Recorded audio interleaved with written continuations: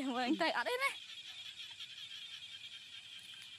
មើលតាន់តាន់មុខ ខ្មាស់គេខ្លាំងណាស់ កោមើលទៅជីបស្អីឯង ឯងអាខកគេសាន មកខាងនេះវិញ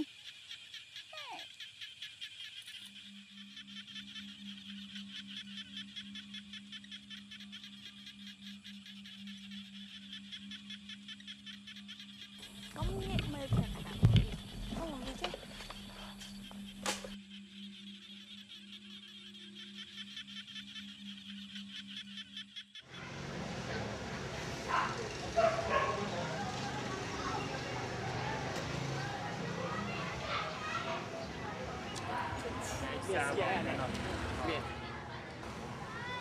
Als ich beschlossen habe, diesen Film zu machen, habe ich gedacht, dass ich diesen Film machen will über, ähm, wie Geschichte neu geschrieben wird. Und auch über die Verantwortung, wie man mit der Geschichte umgeht. Und als ich dann im Land gewesen bin, habe ich dann gemerkt, dass es überhaupt nicht die wesentliche Frage weil die Menschen, alle Menschen, mit denen ich gesprochen habe, waren beschäftigt damit, äh, sich zu fragen, warum? Wie war es möglich, dass es überhaupt so weit gekommen ist? Da habe ich aber dann beschlossen, ähm, das nicht als Gerichtsgeschichte zu machen im Tribunal, wie ich das in meinem letzten Film gemacht habe, sondern ich dachte mir, das wäre ganz interessant, das ähm, zu zeigen aus dem Augenwinkel, könnte man so sagen, äh, von der Bevölkerung.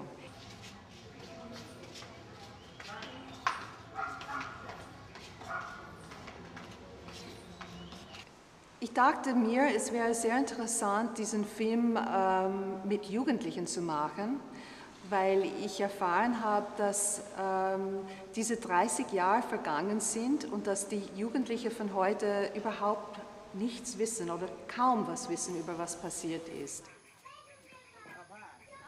Eine der Hauptprobleme in Kambodscha, denke ich, ist, dass ähm, eben weil die jungen Menschen hier aufgewachsen sind, ohne Kenntnis dessen, was passiert ist, ähm, dass sie oft kein Verständnis haben für das, was ihre Eltern miterlebt haben.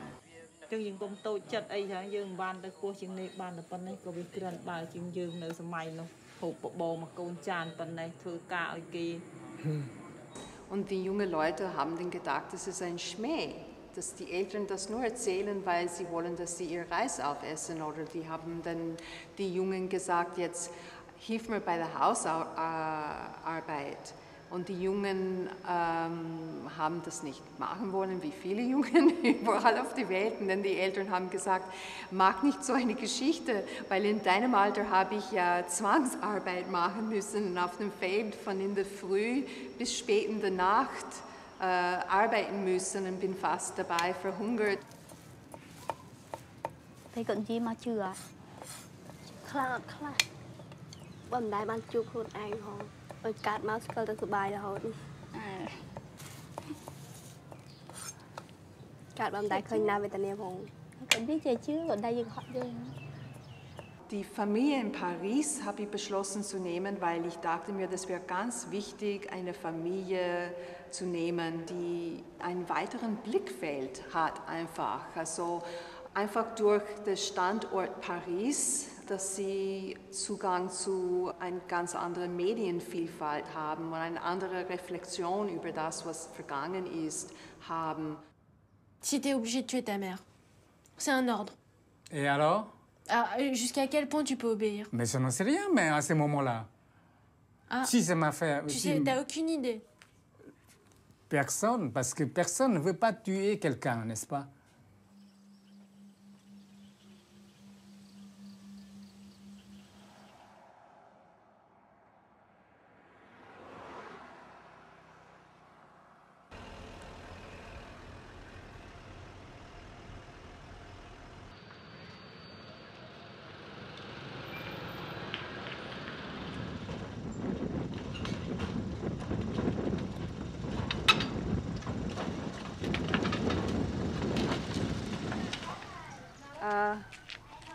Was?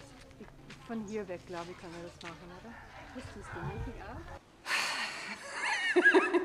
Großes Seufzen, wenn ich daran denke, ob das hier schwierig war, in Kambodscha zu drehen und welche Schwierigkeiten es mit den Menschen gegeben hat. Ich muss sagen, dass die Menschen in Kambodscha wirklich extrem freundlich sind, sehr gastfreundschaftlich Jedoch äh, die Arbeit in Kambodscha ist sehr schwierig. Ich hatte oft das Gefühl, ich stoße an irgendwelche Grenzen, wo ich nicht weiterkomme. Ich habe sehr, sehr viel und über sehr lange Zeit im Ausland gedreht ähm, und kenne sehr viele verschiedene Kulturen und war viel in Asien. Und trotzdem ist das hier ein ganz anderer Fall. Und ich denke mir immer wieder, das hängt doch mit dieser Vergangenheit zusammen. Die Menschen äh, sind, das, das ist eine traumatisierte Gesellschaft. ចាប់ទាញញភ្លាមយកទៅភ្លាមហ៎ហើយយើងយកទៅភ្លាមយើងនឹកឃើញថាខ្លួនយើងយើងទឹកភ្នែកឈូយាយបងយើងសុកចិត្តយកយកយកដៃផ្ដិតកុំឲ្យគេដឹងថាយើងសំណោះអាណិតខ្មាំង Die klimatischen Bedingungen hier sind auch nicht die einfachsten. Ähm, sehr heiß, sehr, sehr feucht. Und wir arbeiten oft in Gegenden, äh, wo wir kaum Möglichkeiten haben, uns wirklich äh, auszuruhen und wo die Drehbedingungen einfach sehr, sehr schwierig sind und anstrengend.